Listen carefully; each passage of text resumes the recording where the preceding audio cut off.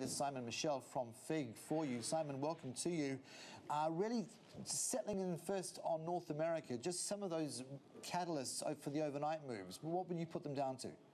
Yeah, look, really interesting. We're certainly seeing a bit of cautiousness on the back of investors. They're just sort of sitting on the, the sidelines at the moment. Good demand, uh, demand for bonds. You're seeing that reflected uh, with weaker equity markets as well. Look, a lot happening in the next 24 hours, Carson. We've got uh, obviously the Comey testimony, testimony happening over in the US. You've got an ECB meeting. We're, we're likely to hear from Mario Draghi. Not expecting a lot of change there, but, you know, will they adjust their bond buying program?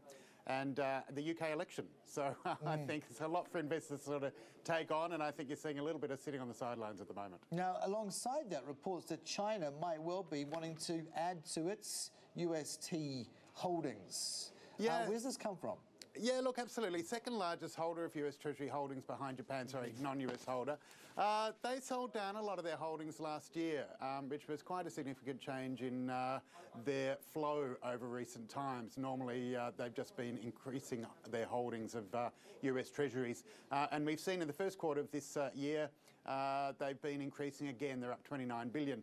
So what that sends to the market is, you know, it indicates that, you know, the, the economy is obviously stabilising. They're not having to use so much of that that money to prop up the yuan. Mm. And uh, I would also suggest you know, some of the capital controls they've implemented to try and stop uh, external flows of uh, Chinese currency may be working as well. So we've mm. seen a significant reversal of that move we saw last year where they sold down a lot of holdings. Okay, let's just put it into context on today's release, the GDP print. Now, a dollar streaked high, but those credit spreads uh, track via, you know, via the iTraxx figure haven't really moved much at all.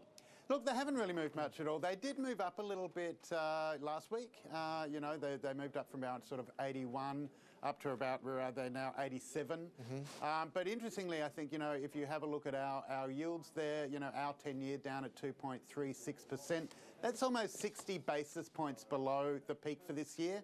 And interestingly, you've seen that year-on-year -year growth figure move from 2.4 at the December quarter to 1.7 uh, released today. So, you know, 70 basis points down there. So, you know, you can see that correlation uh, as those longer term yields have drifted lower in anticipation of this low growth figure coming through. Yep. So there's a little bit of help in the form of that, inevitably, though. So be, be grateful for small mercies, I guess. That's true. Indeed. Simon, thank you very much. Talk to you soon. Thanks, Carsten. Simon Goodbye. Michell from FIIG there.